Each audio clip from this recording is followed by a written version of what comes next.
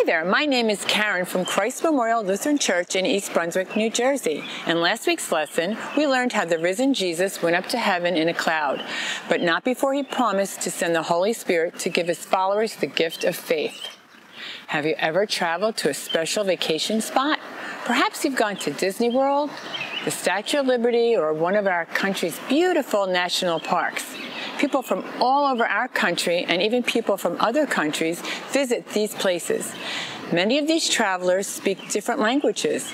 That's the way it was in Jerusalem during the Jewish festival known as Pentecost. Pentecost was a festival of the Jewish people. During this time, all the Jewish farmers had to travel to the city of Jerusalem with the first fruits from their harvest. These farmers spoke many different languages. As you listen to today's story, see if you can identify a miracle of God. Remember that before Jesus went back up into heaven, he gave final directions to his followers.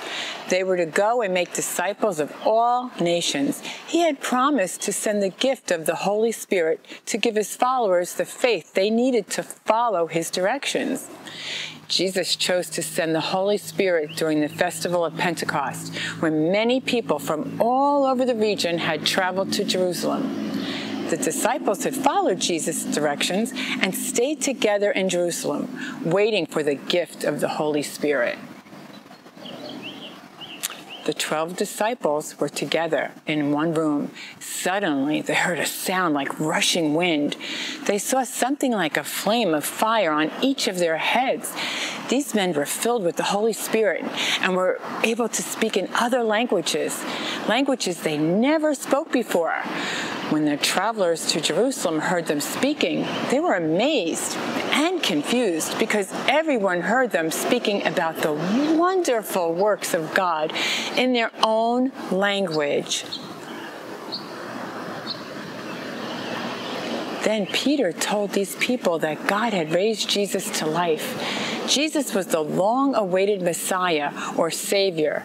The people asked, What shall we do? Peter told them to repent and be baptized in the name of Jesus Christ, and they would also receive the Holy Spirit with the gift of faith. The people believed what Peter said. That day, before 3,000 people were sorry for their sins and repented, that very day they were baptized.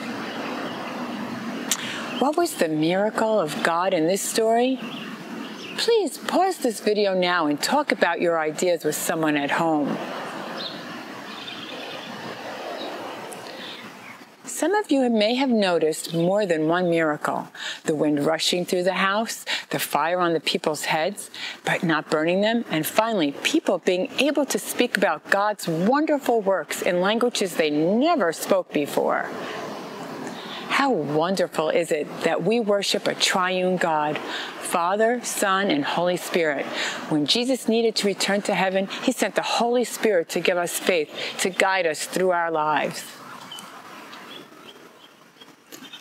Please join us next week when we will learn more about a man named Saul and how a miracle of God changed him from an unbelieving, angry man to a man who believed in Jesus and loved and cared for others.